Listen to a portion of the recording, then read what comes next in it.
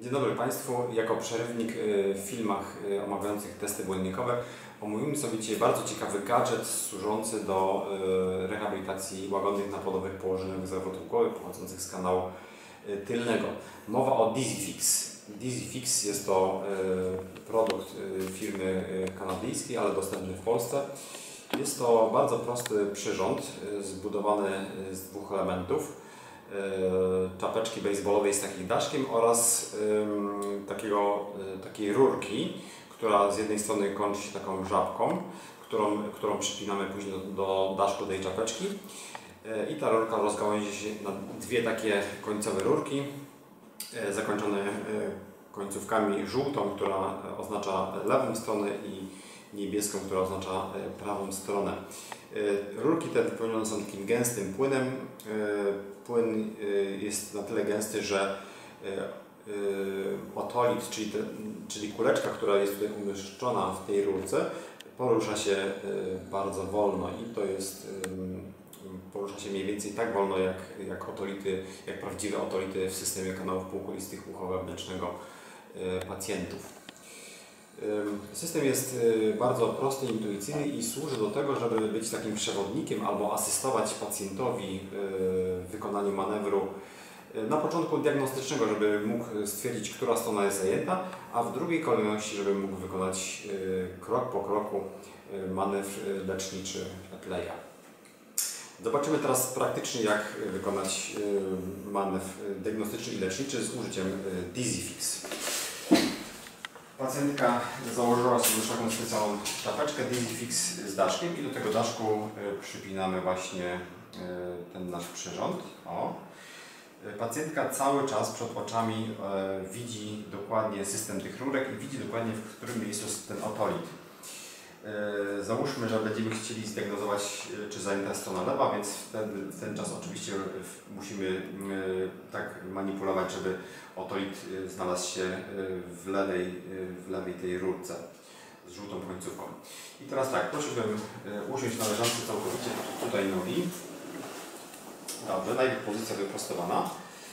I teraz załóżmy, że chcemy zdiagnozować lewą stronę, czyli sprawdzić, czy ten otolit jest w lewej stronie. Ten czas musimy głowę przekręcić w lewą stronę 45 stopni i szybkim ruchem położyć się na plecy. Głowę troszeczkę poza leczankę wystawić, tak, żeby troszeczkę wisiała. I teraz obserwujemy ten otolit, który powolutku sobie spływa y, w kierunku mm, czerwonej strefy. Kiedy tam dopłynie, mm, według opisu producenta powinny pojawić się zawroty głowy. W rzeczywistości y, one występują dosyć, y, znaczy dosyć, dosyć szybko, najczęściej po kilku, kilkunastu sekundach od przybrania pozycji krytycznej.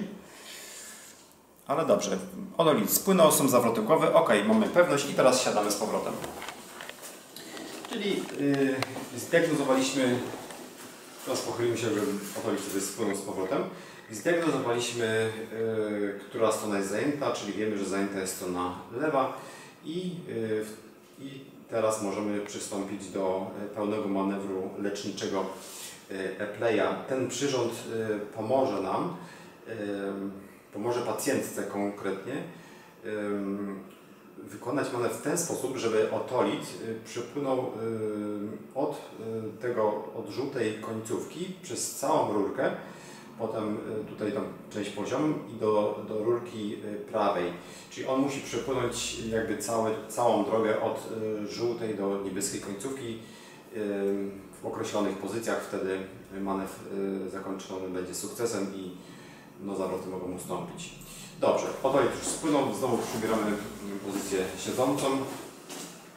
I teraz wykonujemy manewr leczniczy e-playa. Y, skręcamy głowę w lewą stronę. Dobrze, i kładziemy się na plecy. Głowa y, skręcona w lewo i odchylona troszeczkę do tyłu poza krawędź leżanki. I teraz obserwujemy sobie otolik, który spokojnie spływa bardzo wolno w kierunku czerwonej strefy. Dobrze. Jest już prawie w czerwonej strefie. Tu mogą pojawić się zawroty głowy, które musimy przeczekać. Musimy odczekać jeszcze jakieś 30 sekund, żeby e, otolit osiągnął najniższą możliwą, najniższe możliwe położenie w tych rurkach. Dobrze, chyba już się tak stało. I teraz pacjentka odwraca głowę w prawą stronę i oczekujemy dalszego spłynięcia otolitu. Chyba wygięcie głowy jest za duże, prawdopodobnie trzeba się troszkę wsunąć, żeby... O, właśnie. Żeby ta rurka była bardziej w pionie. Właśnie po to jest ten system, żeby nas tutaj e, nawigował, żeby nam e, podpowiadał, jak mamy ustawić głowę, e, żeby spływanie tego otolitu było optymalne, żeby ta droga była jak najszybsza, najłatwiejsza i najskuteczniejsza przez to. No właśnie, teraz już widzimy, że otolit sobie spływa coraz niżej. Jak już spłynie maksymalnie nisko do tego najniższego położenia, czyli mniej więcej do tego położenia, przejdziemy do pozycji trzeciej.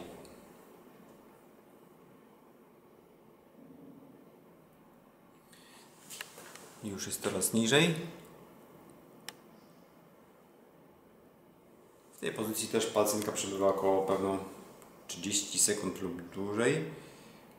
No dobrze, i teraz pacjentka widzi, że otolit już jest bardzo nisko i może sobie mm, pozwolić na pozycję numer trzecią, czyli przekręca się na e, prawy bok, głowę kierunku, w kierunku, kieruje w kierunku mm, podłogi.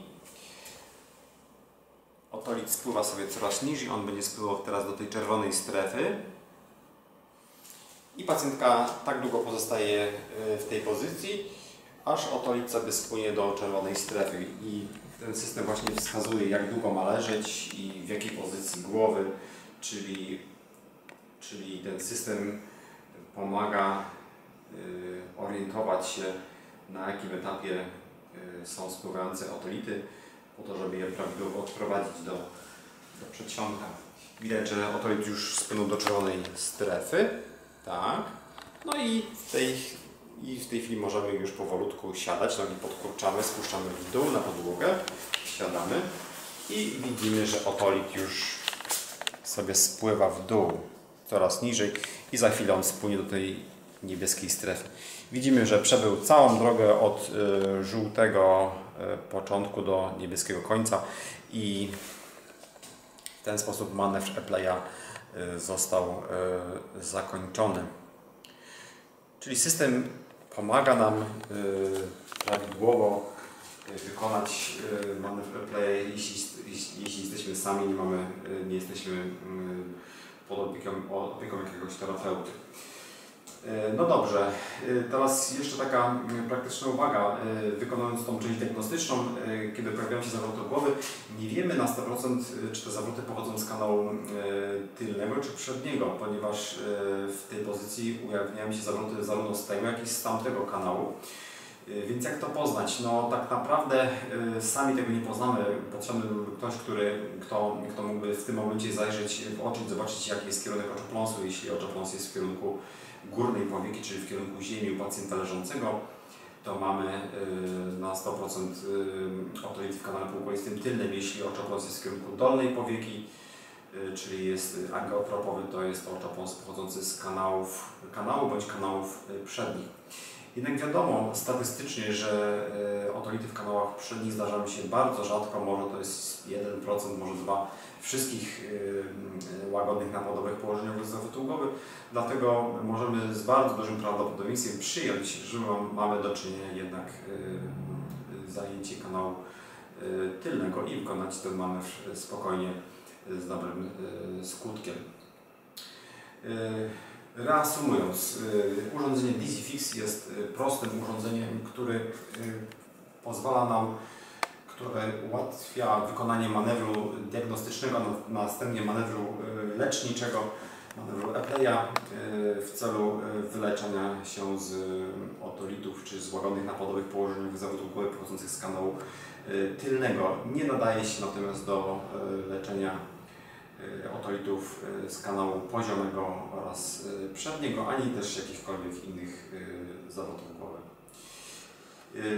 Manewr ten trzeba wykonać najlepiej każdego dnia codziennie przez 7 dni. Na przykład jeśli nie będzie poprawy, to wtedy należy kontaktować się z lekarzem.